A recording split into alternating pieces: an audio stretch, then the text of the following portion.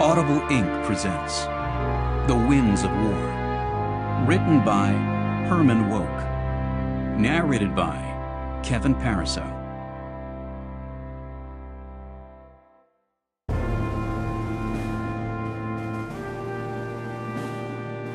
Chapter 1 Commander Victor Henry rode a taxicab home from the Navy building on Constitution Avenue in a gusty, gray March rainstorm that matched his mood.